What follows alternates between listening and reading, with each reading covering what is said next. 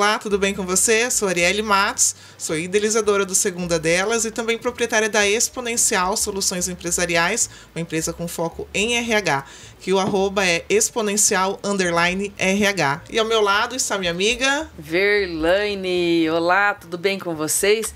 E aí, Ari, mais uma semana. Isso aí. Mais uma semana de entrega. Incrível será. Né? E vamos que vamos, né? Vamos lá, né?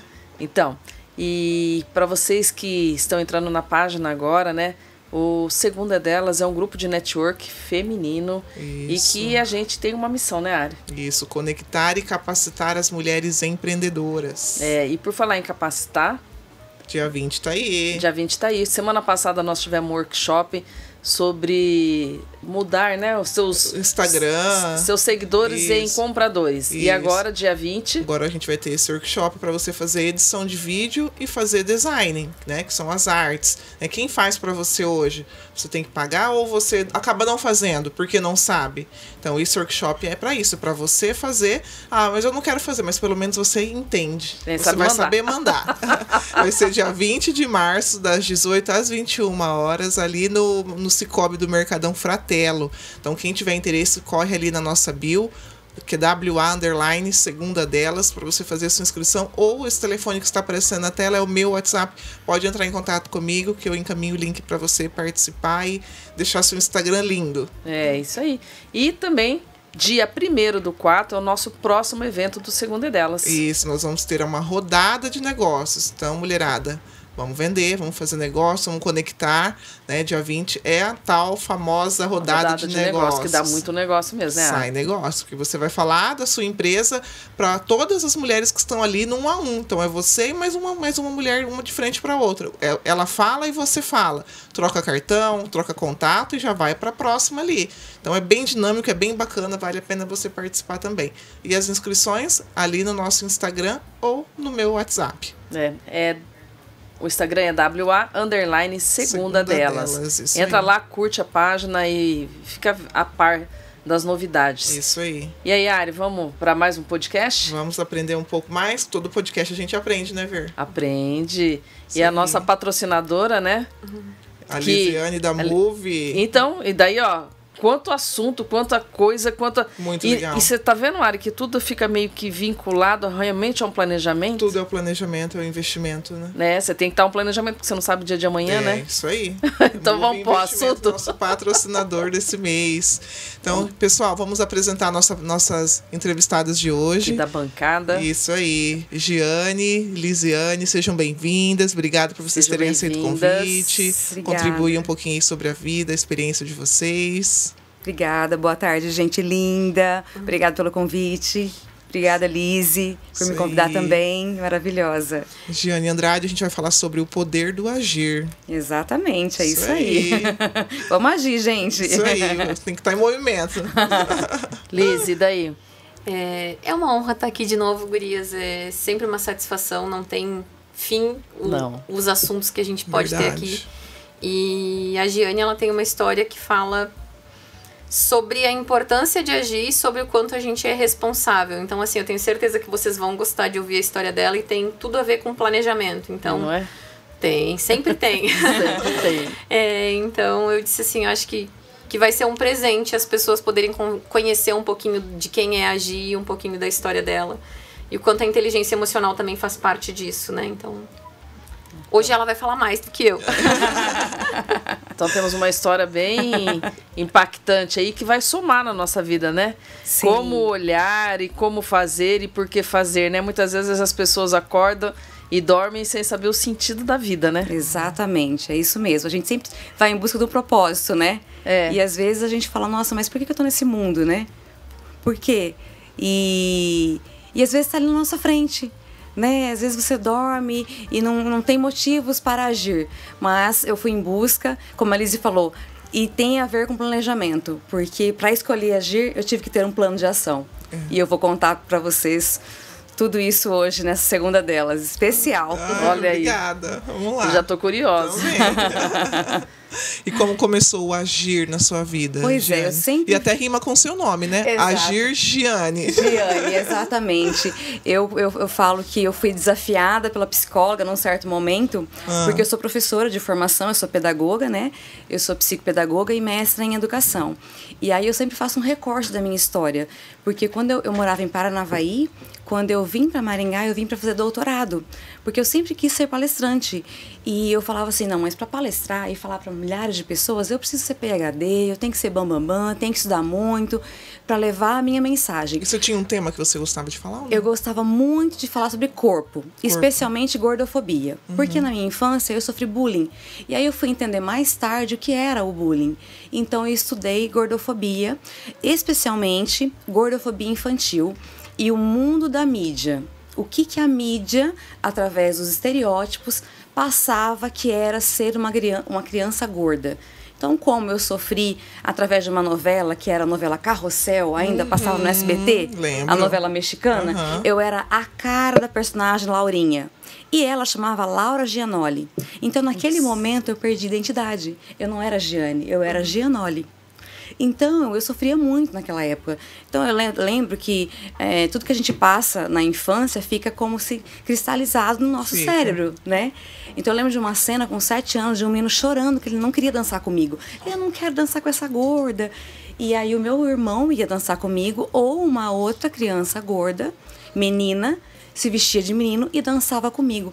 E aquilo eh, me inquietou tanto, eu cresci tanto com aquilo, que eu falava, não, eu preciso fazer alguma coisa pelas crianças. Então eu fui estudar pedagogia, eu fui estudar no mestrado gordofobia, e hoje o meu mestrado é quase que um, um, um caderno, está se tornando um livro, para as escolas também eh, visibilizar os pais e professores funcionários como trabalhar isso é, com as crianças, para que as crianças não façam esse tipo de bullying com outras crianças. É, porque quando a gente desenvolve a questão do corpo, os estereótipos que trazem nas mídias, adentram as escolas, a gente não tem noção como isso interfere na nossa vida adulta. Muito. Então, a novela, ela interferiu muito, ela, ela perpassou é, o a, a minha... A minha a minha identidade. Você veja que eu não era mais a Giane, eu era a Gianoli. Então a Laurinha, ela cristalizou ali. Eu ficava com tanto medo de sair na rua, das pessoas me chamarem de Laurinha, que eu falava pra minha mãe: "Mãe, não me leve". E meu pai tinha padaria, né, para me ajudar. para me ajudar. Então eu falava: "Mãe, eu não quero sair na rua, eu não quero, não me leva", porque as pessoas adoravam cortar minha bochecha. Tanto que eu fiquei um bom tempo para entender que eu não precisava fazer bichectomia porque eu detestava minha bochecha. Então, um tema, você me perguntou, o tema que foi muito forte foi o corpo. Então, eu fui em busca de estudar sobre o corpo e a gordofobia me pegou e falei: não, eu vou estudar aqui vou tentar ajudar muitas pessoas e, e visibilizar esse tema para ajudar outras crianças. Então, na escola, quanto professor, eu ajudava muitas crianças eh, que passavam por isso e que chegavam na escola, porque assim, às vezes a gente pensa assim, ah, vou tirar o meu filho de, de certos programas e vou colocar na novela. Mas a novela tá passando ali informações, né? Tá trazendo alguns conteúdos que são bullying fortes. Então, e às vezes a gente tá na, na escola e você não tá percebendo que essas informações, que esses conteúdos estão também cristalizando nas crianças é, os bullying fortes. E aí eu trago essas informações. Mas, trazendo para o meu contexto de, de vida, eu vim para Maringá e falei: não, vou estudar o doutorado e vou seguir com, com esse livro sobre gordofobia. E fui convidada, quando eu cheguei aqui em Maringá, para apresentar o mestrado em Portugal. E fui para Portugal. Toda feliz. Toda feliz. Saltitante. Saltitante, independente. Falei, Aham. sempre fui independente, né? Casada, com dois filhos. E eu digo que a gente, mulher, né? Que aqui o segunda delas é direcionado para o nosso público mulher, né? Sim. Mulher equilibrista, com papel de Isso. mãe, filha, é, trabalhava na igreja, é, é, professora. Então, a gente rodando os nossos pratinhos com várias funções ali.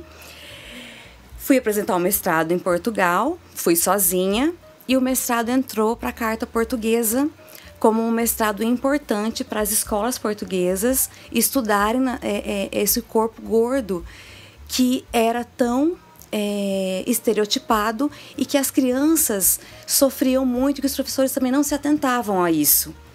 Porque lá tinha uma população, uma estatística de 96% de crianças gordas Nossa, bastante. que é, também sofriam bullying. E que esse tema não era É que visibilizado. antigamente o bullying não era. não- Nem existia, Nem né? Na nossa existia. época não existia esse termo, não né? existia, O pessoal é. tirava sarro e É, por a ali. palavra aí- era sarro. É, e aí ficava, É, né? e É, ficava. ah, tô tirando sarro de mim. né?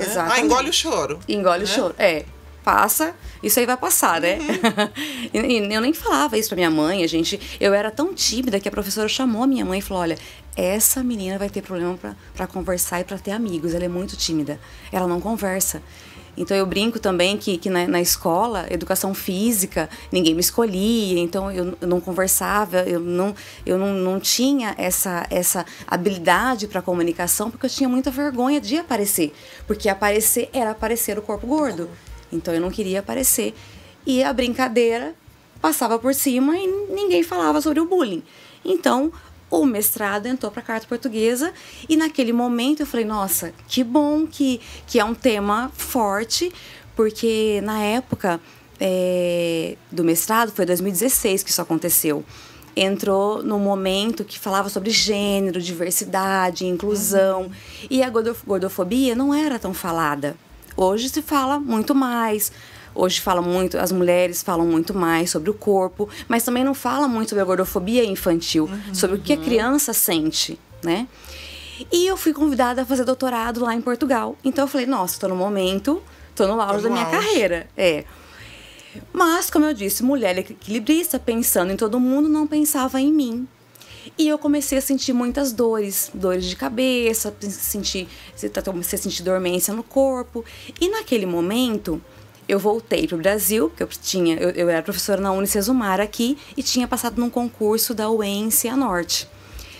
Eu voltei com, eu tive 19 derrames oculares e comecei a arrastar a minha perna e falei, nossa, tô com algumas dificuldades aqui, alguns problemas sérios de saúde.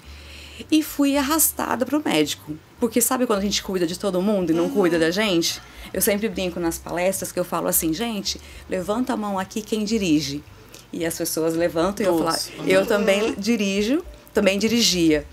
É, E aí eu falo, olha, quando o carro faz barulho, a gente faz o quê?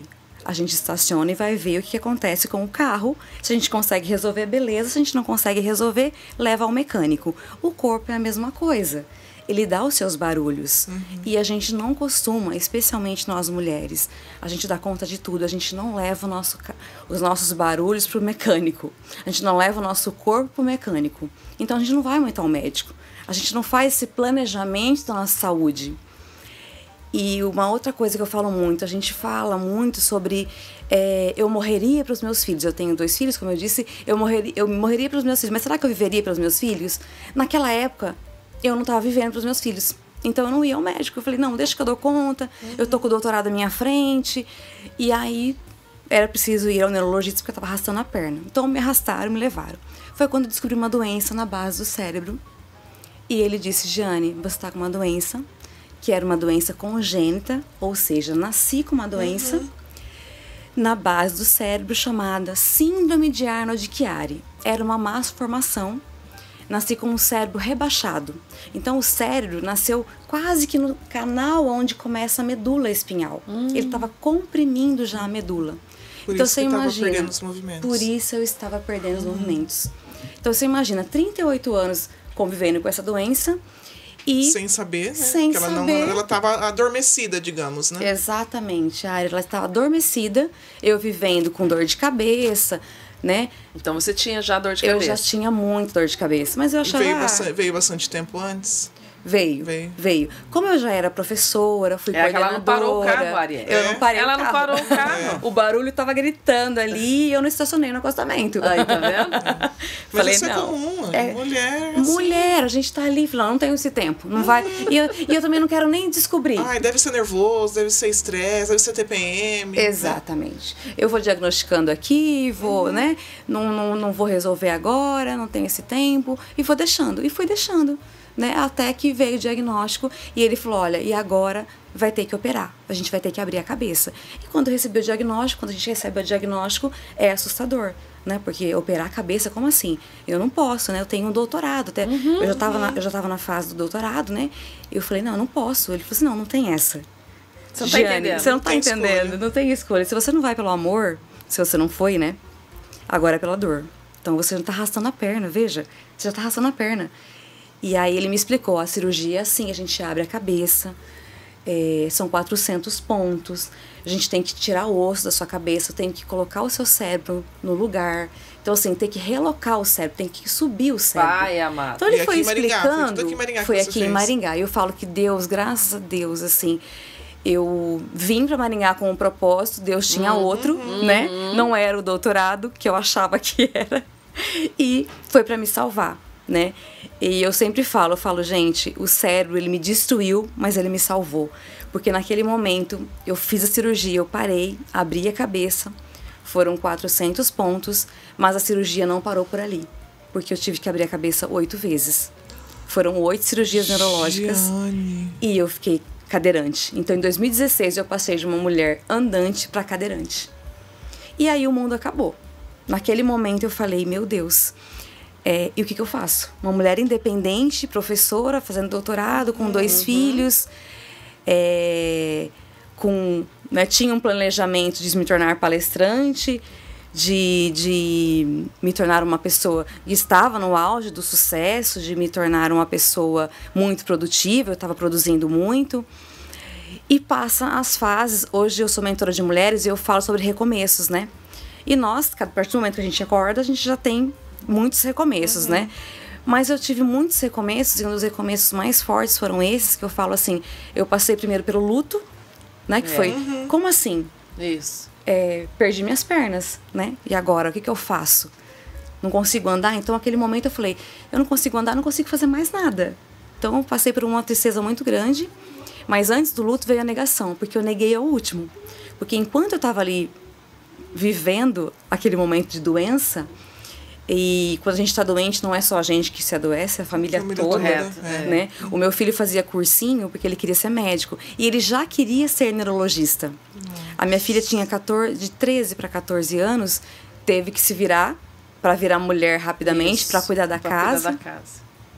A minha mãe, que tinha 70 e alguns anos na época, morava em Paranavaí, deixou meu pai lá, os meus Vinha irmãos, e vinha acudir, para né? acudir, né?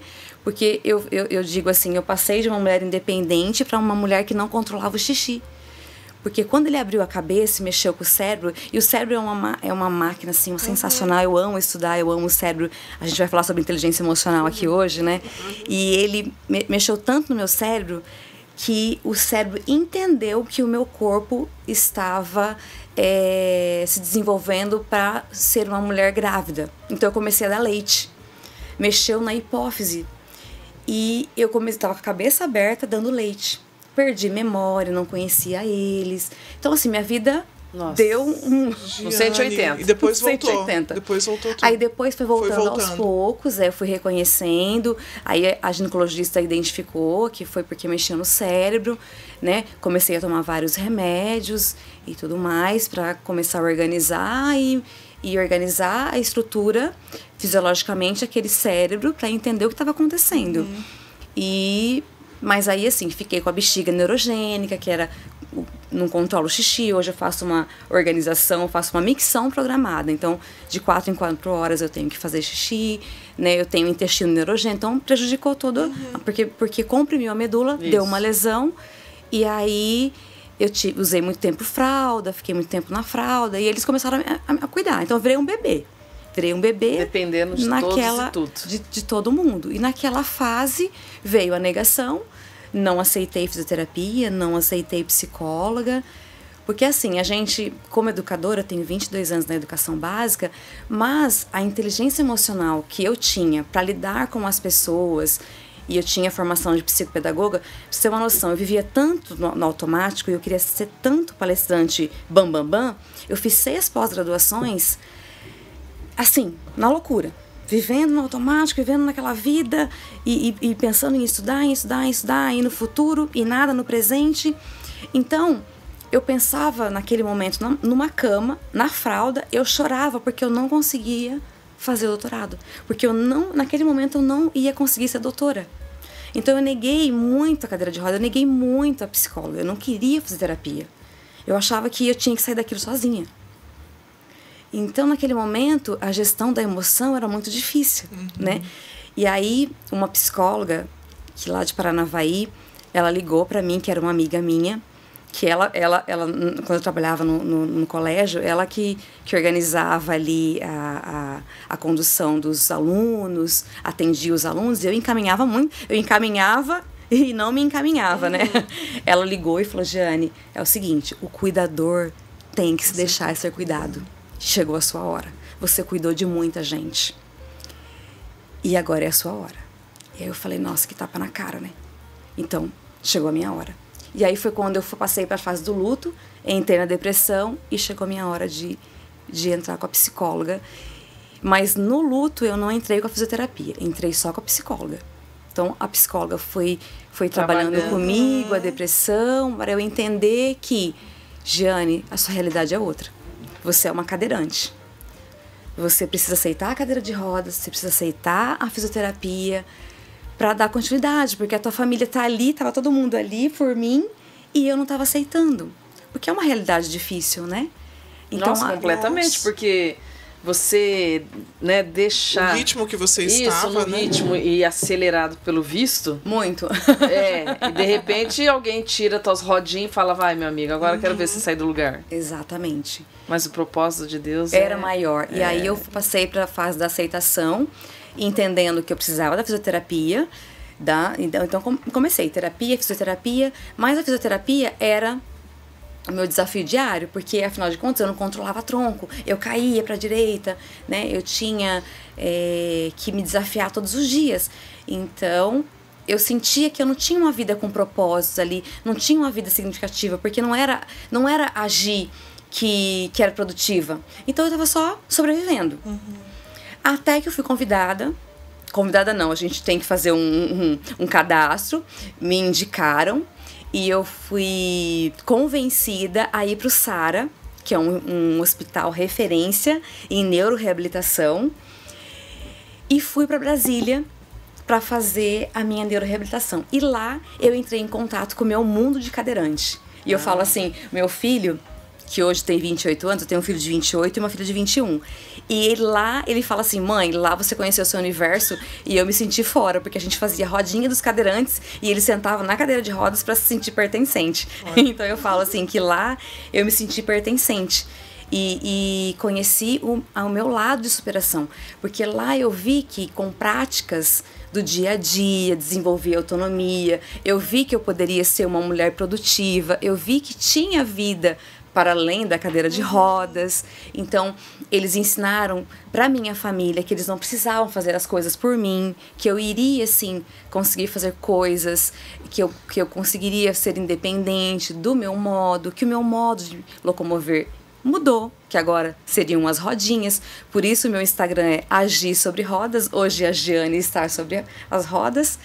E que a partir dali eu deveria superar os obstáculos. Então a superação veio por meio do hospital lá em Brasília, que lá ele é uma rede de apoio muito grande, que a gente precisa dessa rede de apoio, sim. né? Pra gente entender, né? Pra gente Aí sim, se parece entender. que, né? Caiu o ficha. Aí, é, as escamas saíram e daí você conseguiu visualizar aí eu consegui a, a realidade. Visualizar, eu consegui. Que você não era a única. Que eu não que era a única. única. melhores e maiores, piores e diferentes, né?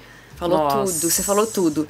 Eu consegui entender que é, uma pessoa ali que chegou, ela foi, ela tava tomando banho, ela foi esfregar o, o pé, ela escorregou, bateu, bateu, comprimiu a medula, a medula, ficou tetraplégica.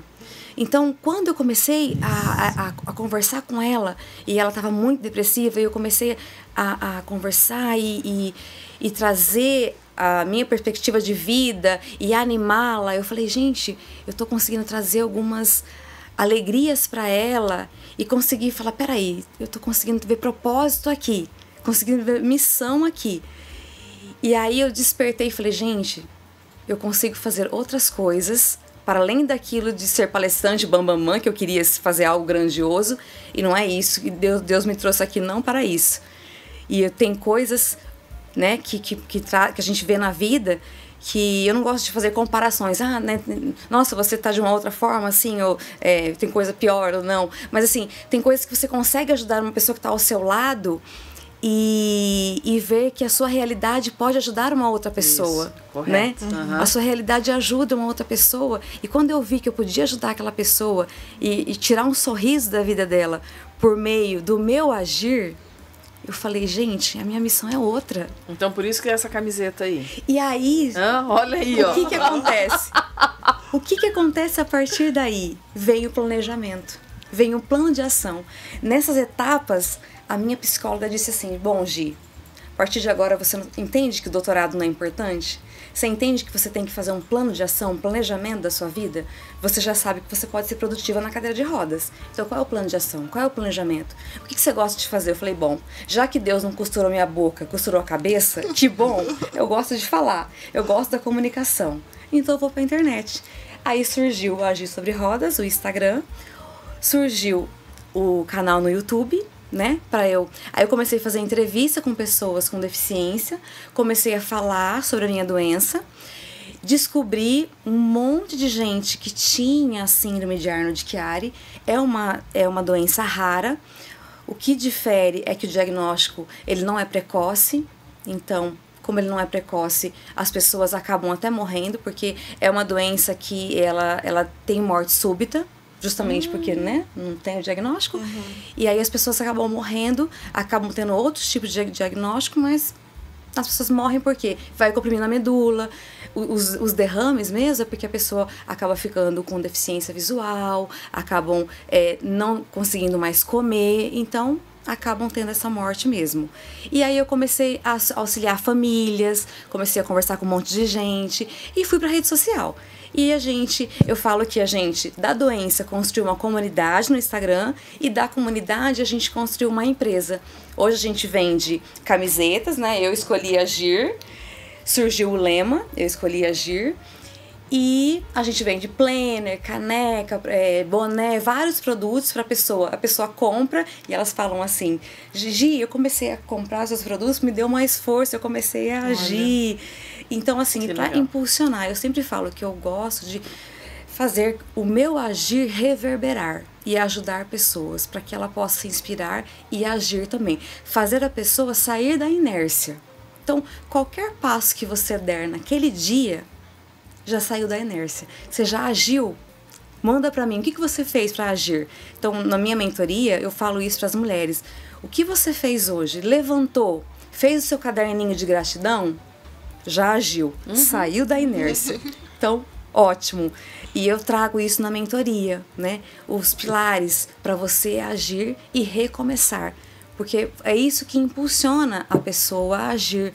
Foi isso que eu fui aprendendo lá no Sara e fazendo mentoria e buscando autoconhecimento na através da inteligência emocional também, porque tem a ver com gerir emoções, né? Com certeza. Porque na inteligência emocional a gente fala que tem duas capacidades, duas inteligências, a interpessoal e a intrapessoal. Né? Então, na interpessoal, a gente vai compreender o outro, ter a empatia, e a intrapessoal, ter a, a, a, desenvolver a capacidade de gerir a sua emoção. Isso. Então, eu tive que fazer muita gestão da minha emoção para me entender. E depois ajudar o outro. Para né? ajudar o outro né, para ter essa capacidade de compreender o outro. No Sara eu fiz muito isso. Você ficou bastante tempo lá no Sara? Eu fiquei muito tempo. Olha, eu fiquei é, faz três anos que eu vou pro Sara. Então, eu, cada ano que eu vou, eu fico de um a dois meses no Sara. Lá é, uma, é um hospital para reabilitação. Isso, é uma clínica para reabilitação. Então a gente fica é, um mês, né, ali reabilitando faz fisioterapia. Então, lembra que eu disse que eu não gostava da educação Sim. física? Porque às vezes as pessoas uhum. brincavam comigo e falavam assim, ah, vou escolher só se você for a bola. Então, até isso eu tive que ressignificar e faz parte da inteligência emocional, né? Então, até falar a, pessoa, a palavra gorda, eu não falava, né? Porque eu tive que ressignificar isso. Então, hoje, depois que eu passei pelo Sara, eu já eu faço hidroginástica, eu faço bicicleta, eu fiz academia, eu fiz crossfit, porque lá no Sara eles fizeram com que eu entrasse em contato com o esporte. Eu fiz basquete, rugby, esgrima, é, legal. ping-pong, natação, tudo porque o Sara ele mostra pra gente que existe vida após uma deficiência. É, tem canoagem lá, então eu falo que é uma faculdade. Né? Tudo que a gente vive, a gente ter um filho é uma faculdade, né? A gente, é, é, é, tudo que a gente vai aprendendo na nossa vida é sempre uma faculdade. E o Sara, por onde eu passei, foi uma faculdade. O que eu aprendi ali, na, na, lidando com, com as pessoas e a aprendizagem, aprendendo sobre lesão medular, foi uma outra faculdade. Sim, porque daí é é um mundo que. Isso que eu falo, que o mundo é cheio. São camadas. A gente sempre vive em uma camada, que é aquela que a gente está mesmo. Isso. E você saiu dessa e foi para uma outra e conheceu um outro mundo, outros problemas, dificuldades. Exatamente, exatamente. Eu, a gente, é, e eu falo assim, eu falo, olha, a virada de chave veio e que bom. As pessoas falam, nossa, meu pai até ele fala, não fala isso, filha. ele fala pra mim. Eu falo, mas pai, que bom. É, hoje eu sou uma pessoa mais feliz cadeirante. Que bom que eu sou uma pessoa cadeirante, porque eu aprendi muito é, ser uma pessoa cadeirante. Que foi bem isso que você falou. Com a dificuldade, A gente- eu é. aprendi é, que a minha missão era muito maior e que o servir, ajudar o próximo, me fazia muito mais feliz. Nessas etapas em que eu passei sobre os recomeços, é, fazer o caderninho da gratidão que eu falo para as meninas nas mentorias fez com que eu me conectasse tanto com Deus. Quanto mais a gente agradece, mais se engrandece, né? Mais, É. se, mais coisas boas acontecem. E, e faz com que a gente se sinta melhor nesse mundo, nesse universo que de, de comparações, nessa internet de que todo mundo vai se julgando, vai julgando você, vai julgando o seu corpo. Poder servir, poder inspirar pessoas, poder ajudar o próximo é o que te faz feliz. É o que faz com que você esteja aqui com um, um propósito mesmo, com deixar um legado. Porque eu sempre que eu estudava, eu achava mesmo que o legado era deixar algo grandioso. Porque quando a gente está muito na área acadêmica, você está ali produzindo, produzindo, fazendo artigo, deixando seu currículo encharcado. Você sempre acha que, meu Deus, eu tenho que deixar uma coisa grandiosa. E eu sempre falo, e os meus filhos falam, mãe, o seu legado já está aí. Já tá, então eu falo, que bom, se vocês já percebem isso, e se eu já sinto que o legado é ajudar ao próximo, e cada dia a gente Isso, pode correto. poder servir, já valeu a pena. Eu tenho uma frase, é, tem uma frase não, tem um testemunho de uma, de uma mulher que ela fala assim, Gi, você por muito tempo me inspirou, mas hoje eu sei que eu sou a minha própria inspiração. Eu falo, é isso. Você entendeu o agir. Você é a sua prioridade. E a inteligência emocional tem muito a ver com isso. Quando a gente entende que a gente faz a gestão da emoção e se prioriza, se coloca em primeiro lugar, valeu a pena você entender que você é em primeiro lugar, você precisa se cuidar para poder cuidar do próximo. Você consegue gerir ali a sua, ter a sua inteligência, ter a capacidade de agir com mais consciência. Porque se a gente se coloca em primeiro lugar, você tem essa consciência para agir, né? É a analogia que a gente sempre fala do avião, É das falar. máscaras. Coloca primeiro, porque no automático a gente não consegue. Porque se a gente vai, a máscara, primeiro eu vou salvar minha família. Se você não estiver bem, você não consegue salvar sua família. Se você não colocar a máscara primeiro, você não consegue salvar ninguém. Né? Então eu fui con conseguir compreender isso ao longo da minha trajetória, virando uma pessoa com deficiência, virando cadeirante. Porque se eu não, se eu não levasse chacoalhão de Deus, eu estaria no automático até hoje. E não sei se estaria viva. Né? Hoje Né? demorou pra você virar essa chave? Quanto tempo levou? Demorou, demorou, demorou. Olha, depois que eu me tornei uma pessoa com deficiência, demorou uns, uns seis anos. Mas para, Ari, para te falar uma, assim, exatamente é, sobre o autoconhecimento, que não tem mais. Eu falo que eu tenho três problemas com S na, na- na- na- nas minhas palestras e, e nas minhas mentorias. É, depois que eu tive esse recomeço, que eu me entendi, eu tive mais quatro doenças que me atacaram, autoimunes e neurológicas. Eu desenvolvi crise convulsiva. eu desenvolvi mais algumas doenças e alguns transtornos que fizeram com que eu tivesse uma paralisia facial. E faz apenas cinco meses que eu voltei. Que eu voltei a palestrar, que eu, vou, que eu fui fazer mentoria. Faz cinco meses que eu fiz uma mentoria e que eu sou que eu sou mentora de mulheres, uhum. que eu mergulhei mesmo, que eu falo que a, a, o autoconhecimento é o, é, é, é o iceberg, né? Uhum. A gente vê, só vê a pontinha, né? Você tem que fazer o um mergulho. É. Então eu fiz esse mergulho faz cinco meses. Faz cinco meses que eu fiz esse mergulho. Eu estava em outubro, por isso que, que, que, nas palestras eu trago algumas fotos. E no meu Instagram, se vocês procurarem lá, tem algumas fotos impactantes. Eu não estava conseguindo falar. Eu não conseguia pronunciar o nome dos Por meus conta filhos. Da, da paralisia. Por conta da paralisia. Eu não sabia, eu não estava conseguindo comer, não conseguia.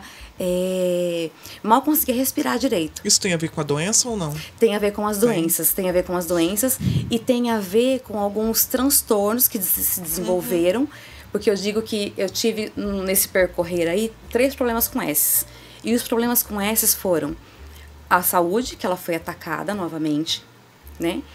Então, depois desse recomeço todo, que eu consegui me identificar como pessoa com deficiência, veio novamente esses, essas doenças autoimunes, veio uma separação após 26 anos de casamento, o que uma separação é muito é, é, forte, porque eu, tinha, eu casei com meu primeiro namorado.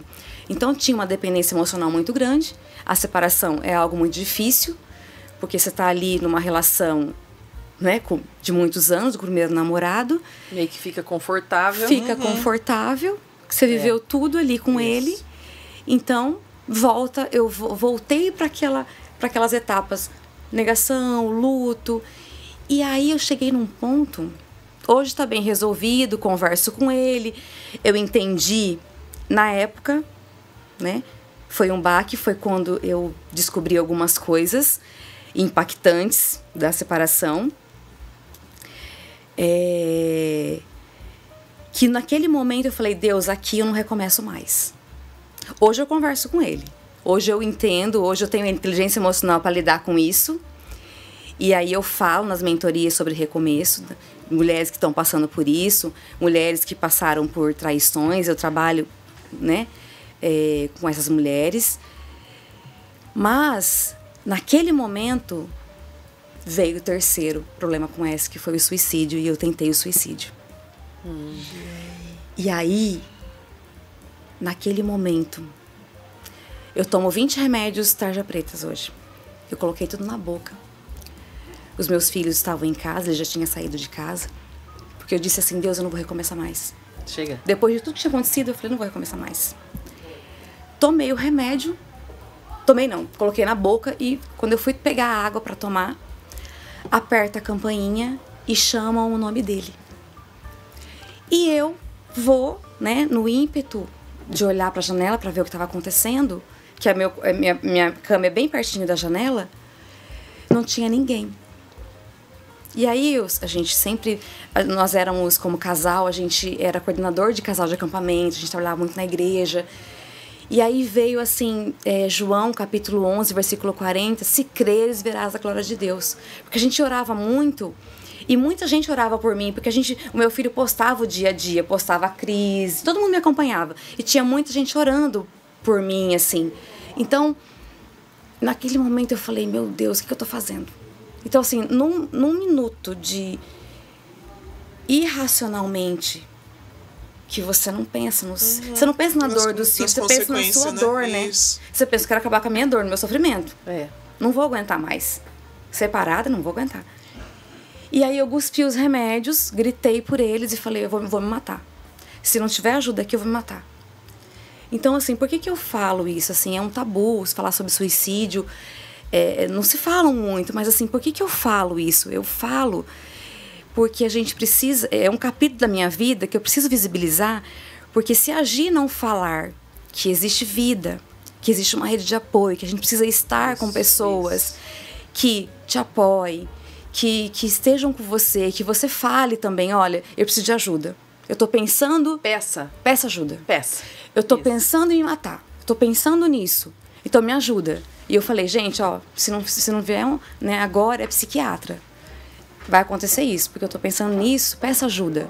Né? Então, eu, eu sempre falo, se eu não, se eu não visibilizar isso, é, não é a Giane, eu tenho que testemunhar para as pessoas, para as mulheres ou as pessoas que estão passando por isso, porque existe vida para além disso, existe uma missão aqui na Terra e Deus me salvou naquele momento. E aí eles vieram, né? Hoje faço acompanhamento com a psiquiatra, eu falo, saúde mental é muito importante para a gente ter essa, esse acompanhamento, toma esses medicamentos e peço ajuda. A gente tem que ter esse rede de apoio, tanto que a gente tem aí o Setembro Amarelo, né, para falar sobre isso.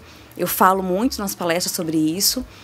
Porque isso acontece. Você, chega num limite que você fala, não quero mais, eu quero tirar a minha vida e tal. Mas não, a gente está aqui para isso. A gente pede que você. Isso. Que você verbalize que você está precisando de ajuda. E foi naquele momento que eu falei: olha, socorro.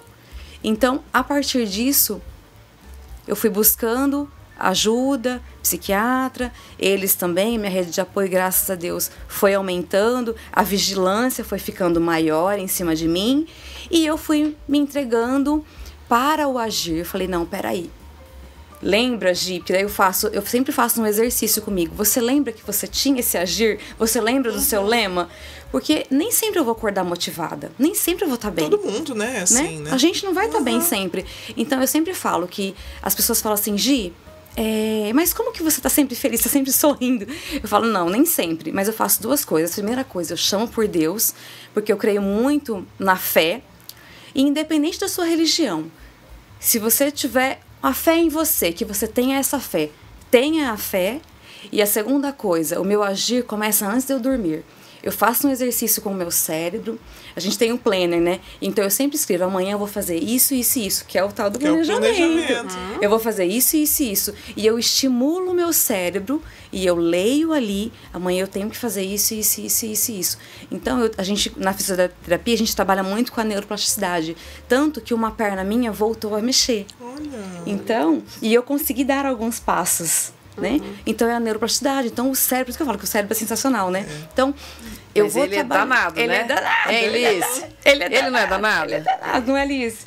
É... Não deixei você falar, né, Liz? Fala, fala, eu Liz. Tô amando. Eu queria só te falar uma coisa. Tu já é uma palestrante bambambam. Já tá? é, com certeza. Entenda. Não ah, fala, mas tu já é tô maravilhosa, arrepiada. tu é incrível, tu já é bambambam.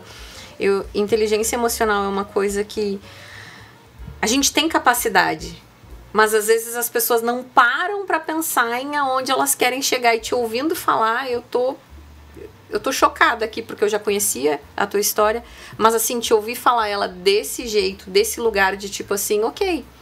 Tem um problema, mas eu resolvi eu escolhi que eu vou superar isso. Eu escolhi que tipo eu vou tomar uma ação. Isso é sensacional. Nossa, se as pessoas, se quem tá ouvindo pegar só essa partezinha, uhum já muda a vida das pessoas. Cara, tu já é bambambam. Bam, bam. Ai, Liz, Liz, tô emocionada. Tá tô emocionada aqui. Gente, obrigada. o cérebro da gente, ele nos prega peças. Isso. E nem todo mundo tem essa maturidade. Eu sou apaixonada por inteligência emocional. Eu já fiz um monte de, de curso nessa área para mim entender. Todo mundo diz assim, porque eu faço eventos, né? Eu dou muita palestra de inteligência emocional uh, na área de análise corporal, comportamental, tenho formação em coaching, então eu amo essa área. Só que quando eu comecei a estudar isso, foi para mim entender. Eu não fiz para entender ninguém. Eu fiz porque assim, ó, eu tinha vontade de bater nas pessoas ou bater em mim. Eu não conseguia ter a inteligência emocional entra comigo mesmo, Exatamente. entende? E aí eu comecei a estudar isso para mim entender. E tipo assim, tu conseguisse resumir algo que eu levei anos para entender e que a maioria das pessoas não consegue entender. A importância de ela tomar a decisão de entender, opa, tá acontecendo isso, ok, mas a minha decisão é essa com chuva, sem chuva, com vontade, sem vontade, eu vou agir. Que sensacional, Gi. Obrigada, Lícia. Ai, que linda. Você é maravilhosa. Tu é bambambam. Vai que linda. Eu, eu escolhi agir e sou bambambam. É, é sobre isso. Que linda. Obrigada, tô legal, emocionada. tá Obrigada. Obrigada. É isso que eu falo, assim, que o nosso, o nosso agir, ele, ele nós somos frutos das nossas escolhas, né? E a vida não é aquilo que te acontece. A vida é aquilo que você escolhe agir diante daquilo que te acontece, né? Como que você escolhe agir diante daquilo que te aconteceu? Então, eu fui atrás. Tem um problema? Não. A gente tem que agir buscando a solução. É. não Isso. foca nisso. Não foca no problema, Não né? foca. né? Não foca no problema. Porque eu sempre trago é, nas palestras tudo aquilo que você foca expande. Uhum. Então, se você focar na ação, ela vai expandir. Então é por isso que a gente traz nas, nas redes sociais é, e eu trago o meu lema e eu todos os dias sou muito fiel a isso. Tudo que acontece eu falo, gente, é isso, Gi. Você escolheu agir. Então, até nisso eu falo, eu falo, ei Deus, esse Giane não foi para casa, né? Se você escolheu agir, né? então, vamos, vamos embora, vamos, vamos embora, vamos agir e vamos reverberar isso aí. Quanto mais a gente conseguir atingir essas mulheres, essas pessoas. Então, eu brinco, né, que nas palestras eu falo, homens, não fiquem chateados, mas o meu público maior são as mulheres. E eu quero fortalecer essa comunidade das mulheres. Quanto mais a gente conseguir é, levar essa mensagem que depende da gente, as nossas ações, né? Que o agir depende da gente para fazer acontecer. Se a gente estiver nesse movimento de agir, as coisas elas melhoram, elas vão acontecendo. Então, quando você me pergunta, né, quando isso demorou muito tempo, foi muito importante essa pergunta que você fez é, para fazer essa, essa, essa volta. Ela não tem muito tempo de, dessa volta, Sim. né? Dessa, desse, desses recomeços e um volta. Ciclo, Porque né? eu fui Demorou fechando, um pouco, foi, é, você foi fechando, fui fechando, foi fechando, fui fechando e, e, e faz é, oito anos que eu parei de andar. Então foram muitas coisas que foram acontecendo, que foram mexendo com a minha família. Então meu filho hoje ele não, né? Ele, ele também fechou um ciclo. Ele não foi para medicina, mas hoje ele é empreendedor.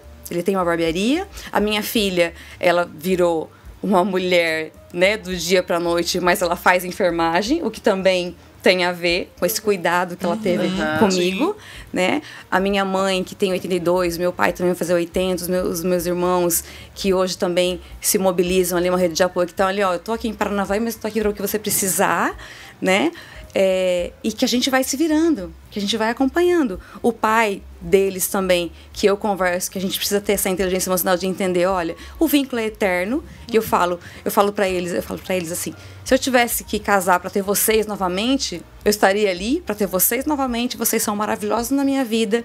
Tudo é um reflexo daquilo que a gente plantou lá atrás. É. Porque a gente sempre tem essa preocupação com os nossos filhos, né? Sempre. O que será que o que o que será que eles serão no, no uhum, futuro, meu Deus? Mas assim, o que eles estão fazendo? As pessoas ficam impressionadas, mas é fruto daquilo que a gente já faz dia a dia com eles, né? É, a gente é vai... o tal do ditado, né? A fruta não cai longe do pé, né? Não é? É o que a gente faz, é que nem a tua filha né, enfermagem, porque ela é, descobriu, ela descobriu, ela descobriu ali um cuidado, um carinho, um amor a, que é uma profissão, mas é ajudar o próximo, né? Exatamente. É uma profissão, mas é ajudar mas o próximo, é porque não é para todos, né? Eu acho que a gente passa exatamente pelas coisas que precisa para amadurecer. Só que tem gente que passa e não tem esse nível de conhecimento e compreensão. Correto. Porque quando a gente passa por um impacto emocional desse, tu teve alguns impactos emocionais muito gigantes, a pessoa tem duas opções. Ou ela vai ficar lá esperando a vida acabar, ou ela vai tomar a opção que ela quer.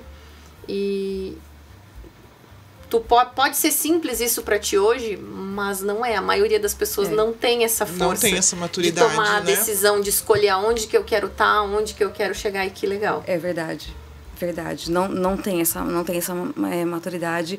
É, é muito difícil, assim, quando a gente vai para aquele hospital no Sara que, que, que eu mencionei e a gente vê cada história, né? Ainda hoje eu conversando com a minha nora, a gente vê. É, eu fiz um Dia das Mulheres, eu coloquei lá um formulário para escolher uma mulher para mentorar. Falei, olha, eu vou, vou dar uma mentoria para uma mulher aqui e muitas mulheres vieram preencher, porque são muitas dores, uhum. né? São muitas dores ali. Isso. E eu falei, gente, para escolher uma dor que é difícil. Então até ontem eu fiz o sorteio, falei, vou sortear uma mulher aqui e muitas vieram me procurar. Falei, ai, que pena que eu não fui sorteada, eu queria e tal. E, e, e descreveram as dores uhum. dela. Eu falei, gente, eu gostaria muito de ir ajudando ali as mulheres, né, na mentoria. Você não pode ajudar todo mundo, mas assim, você sente é, como, é, como é, é difícil, é difícil você é, se colocar naquele lugar, de estar ali.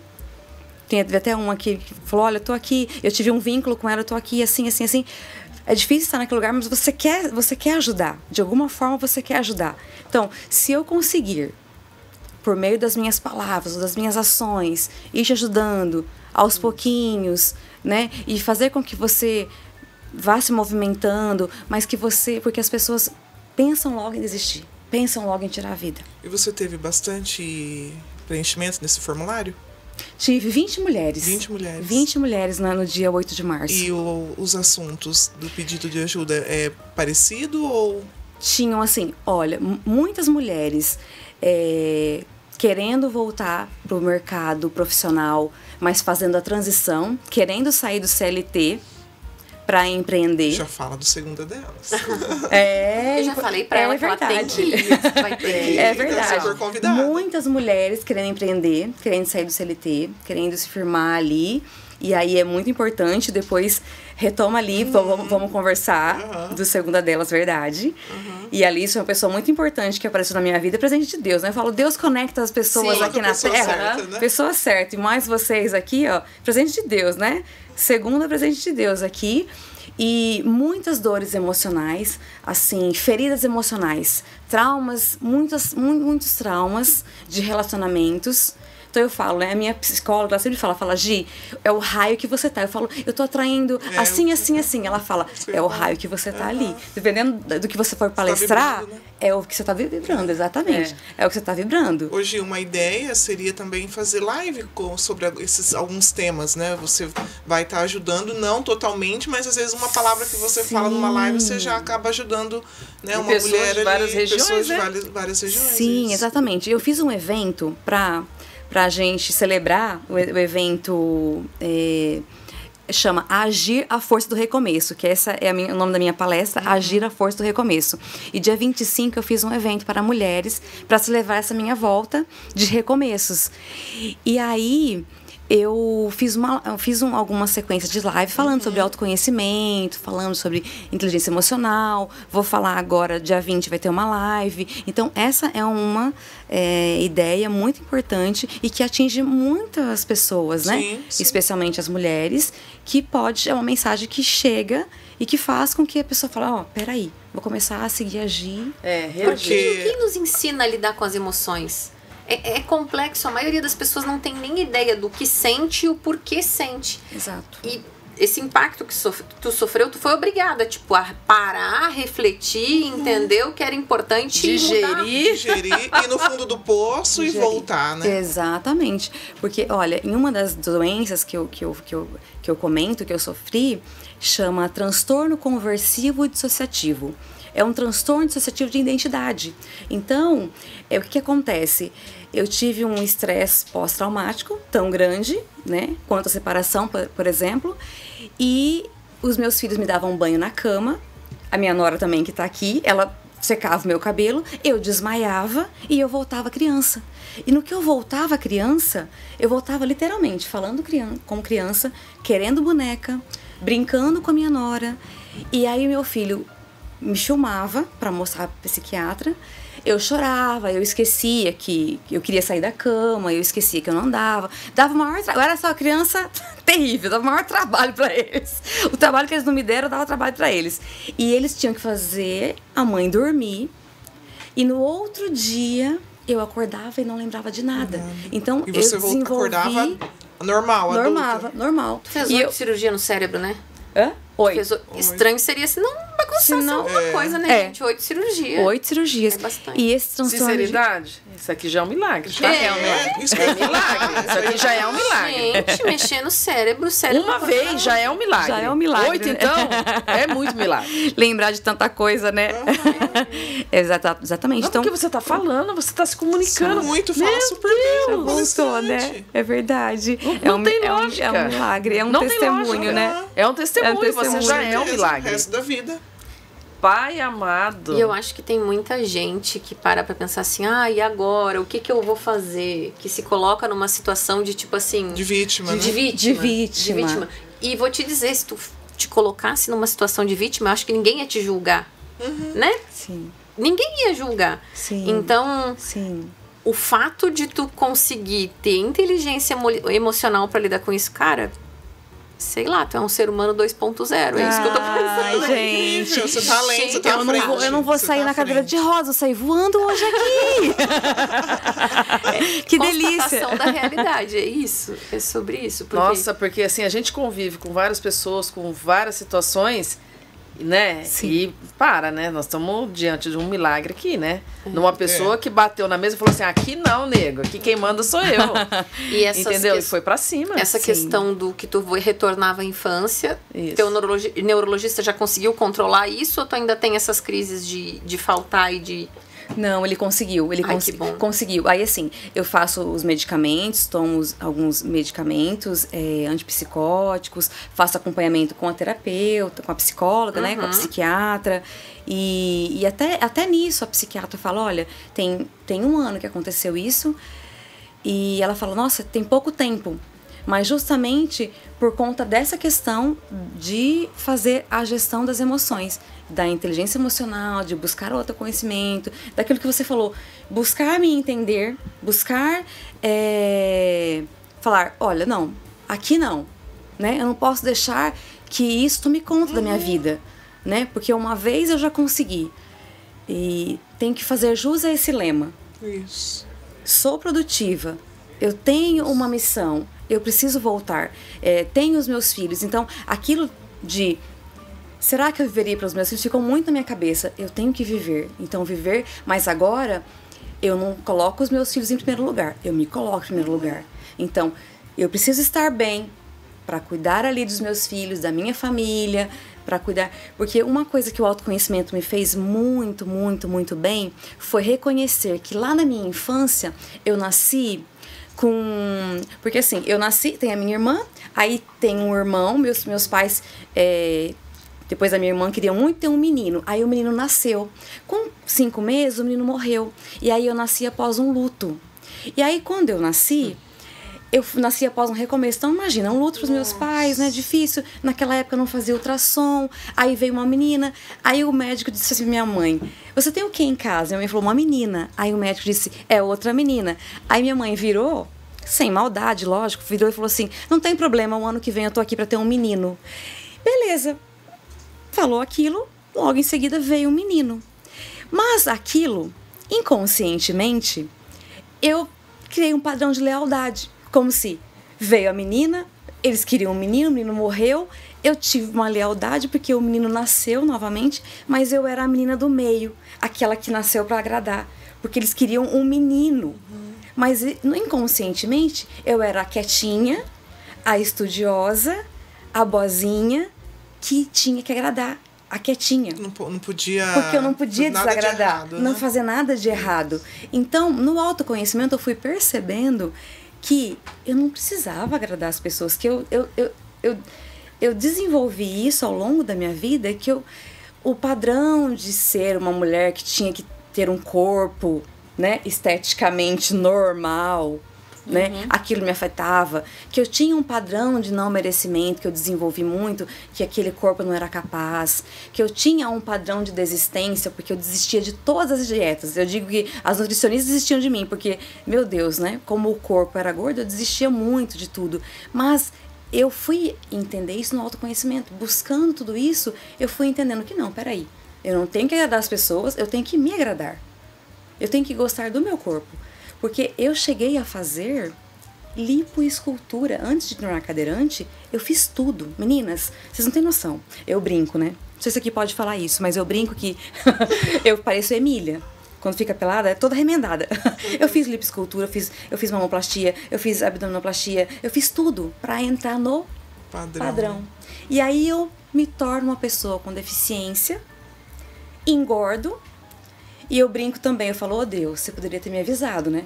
Porque eu coloquei bunda. E aí, às vezes, eu fico, eu fico presa na cadeira de rodas porque a bunda é muito grande. no mínimo, poderia ter me avisado. oh Deus! Então eu brinco que o corpo sempre é, perpassou ali por mim, mas tinha uma outra, eu tinha que ter uma outra ideia deste corpo.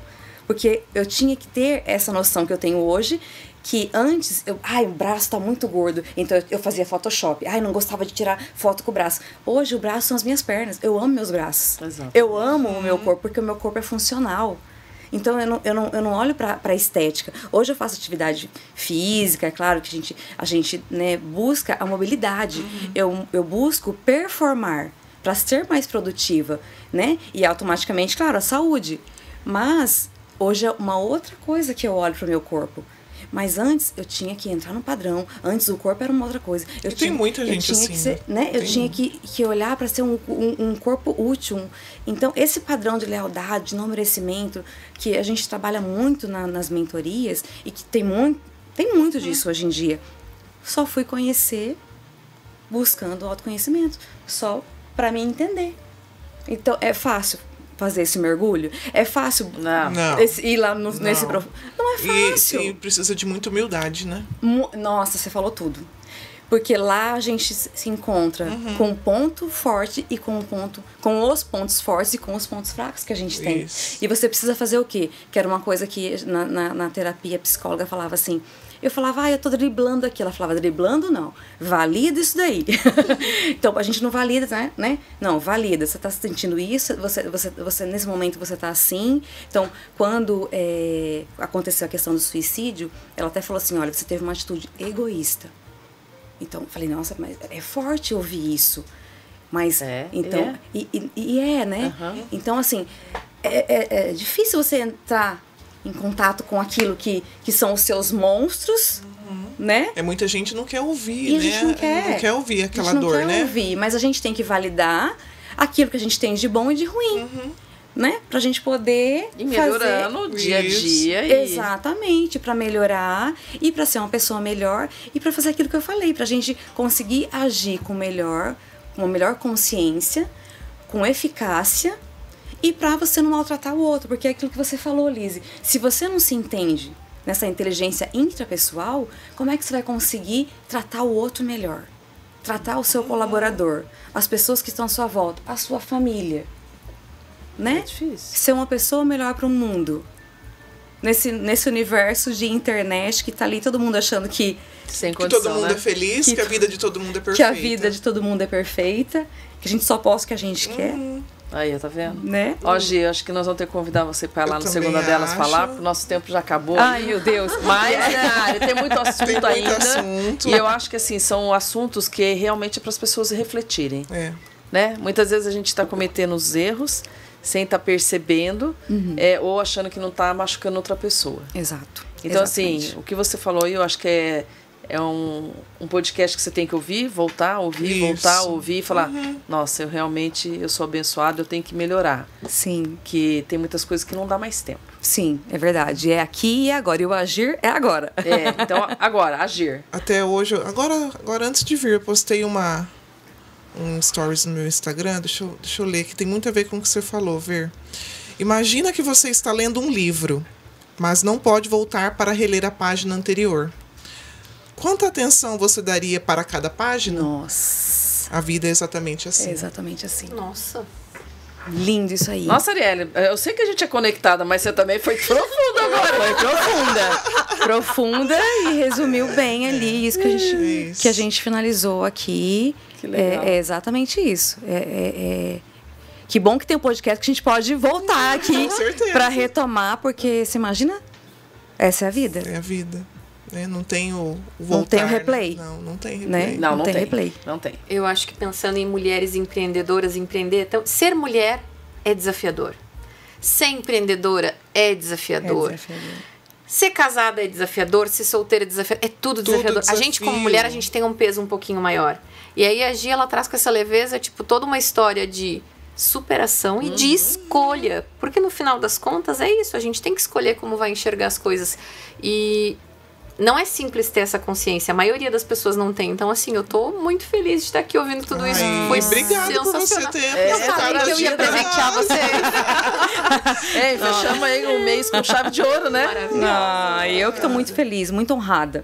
Muito feliz, muito honrada. E com esse presente da Lise, vocês duas maravilhosas. longe. Obrigada, segunda delas, uma segunda incrível de, de gratidão. Meu caderninho ali hoje, ó. Ah, obrigada. Cheque. Obrigada, Deus. Obrigada, Obrigada, meninas. Obrigada, Obrigada. Gi. Obrigada, Lise. Obrigada, Eu que Liz. agradeço por estar aqui, gurias. Obrigada. Obrigada a você que esteve conosco até agora. Já se inscreva no canal, deixe seu like, compartilha esse nosso podcast para as pessoas que você conhece. E é isso. Ótima semana. Ótima semana, pessoal. Tchau, tchau. 好，再见。